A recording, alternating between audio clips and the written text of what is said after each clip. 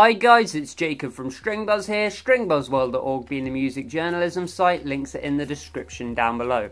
And we have a brand new discursive type topic for you today, and that's every musician has a good track in them. I'm going to refer to the original articles I usually do for these videos, so I hope you enjoy. So as music fans and music listeners, there is nothing we like more than shaming the garbage that comes out on a daily basis. Especially as a British music journalist myself, there is nothing I like more than really moaning about music.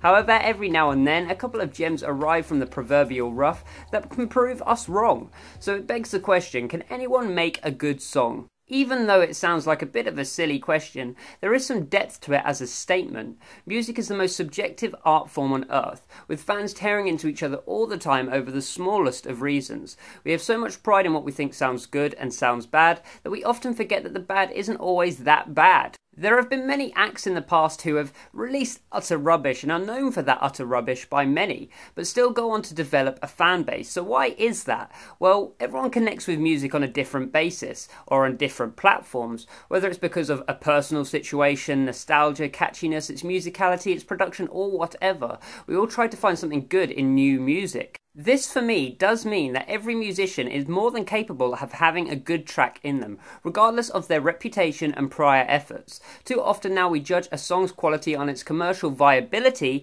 aka how much it has sold and where it reached in the charts, rather than on characteristics that matter as a performance art. For me, a good track has to have longevity. It has to have the ability to not be seen as a temporary commercial product, and instead a piece of art that people want to replicate or simply enjoy for years to come. However, we often coin the term one hit wonder for people or musicians who have made music that fall upon these lines without being able to back those efforts up. However, those same commercial products we mentioned earlier can also be classed as one hit wonders. So, where do we really draw the line? For me, you have to look at music as a mathematical equation. Each part of the equation is there to add to one another to eventually equal a great track. Now, the equation can be lopsided. For example, the track might have an incredible production value and sound really pristine as an audio file, but might not be particularly complex or strong in the theory department. Another example might be that the track is really complex and technical, but isn't catchy. So for me, there are five elements you have to have in your equation to make the track work. Starting with number one,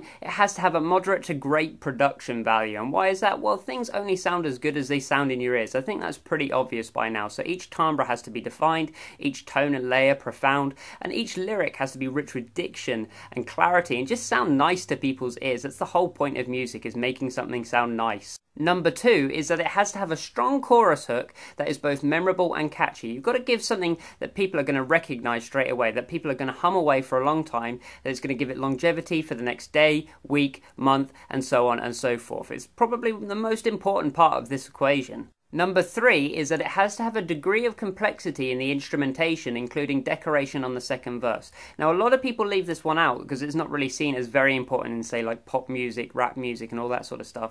But I'd argue that it's equally important there.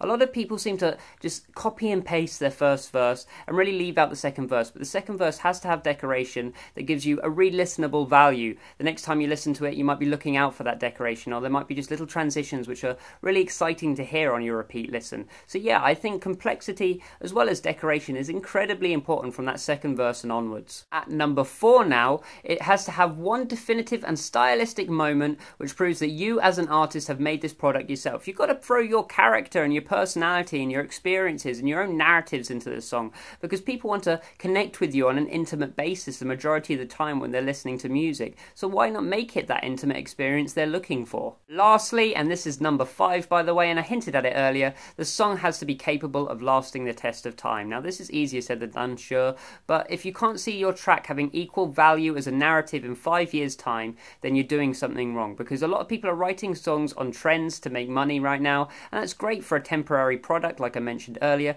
But if you want something that is going to really get stuck in people's head and be classed as a great track by all, then you're going to have to make a song that stands the test of time. Now, as I mentioned earlier, this all sounds very easy when written or set, but to execute them as procedures is difficult and it may take many, many attempts to get them right. But any musician can attempt to make a song with this in mind, and through trial and error, they will eventually succeed. Some artists make it first time, some artists make it multiple times, some artists it takes a career for them to make it. But everyone is more than capable of making that elusive, good track. So if you like this video, then please leave a like, comment what you think in the comment section down below, subscribe to see more, and I'll see you around next time. Bye bye.